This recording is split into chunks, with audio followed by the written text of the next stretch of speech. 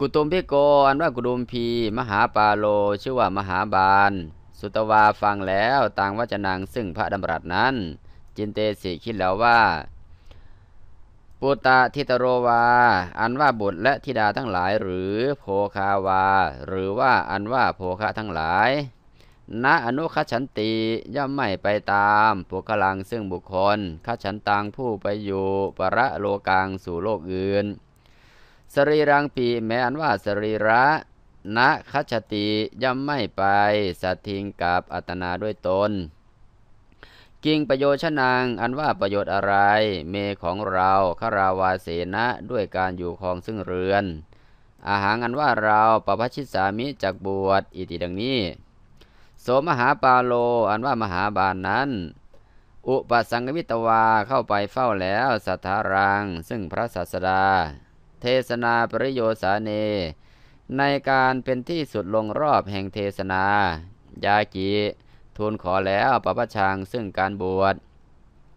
อาถาครั้งนั้นสถาอันว่าพระสัสดาอาหะตรัสแล้วนางมหาปาลังกะมหาบานั้นว่า ยาจีอันว่าญาติ อาปุจิตพะยุตโก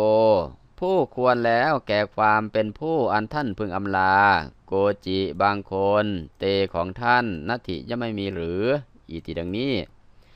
มหาปาโลอันว่ามหาบาลอาหากล่าวแล้วว่า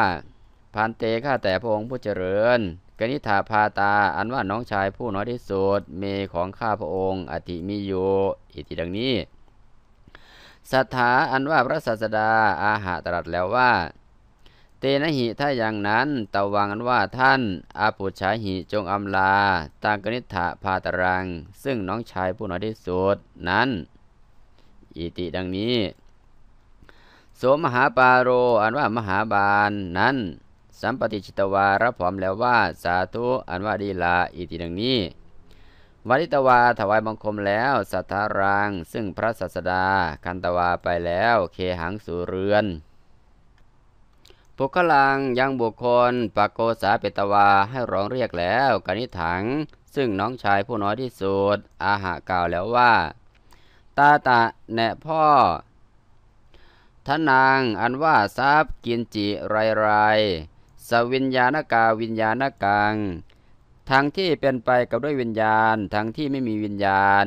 อย่างใดกุเลในตระกูล อิมัสมิงนี้อธิมิโย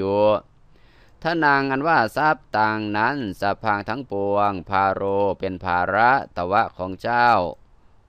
โหตุจงเป็นตรงนี้นะครับ เปลี่ยนโหติเป็นโหตุนะครับตะวังอันว่าเจ้าปฏิปัชชาหีจงจัดการนางถ้านางซึ่งทรัพย์นั้น อิติดังนี้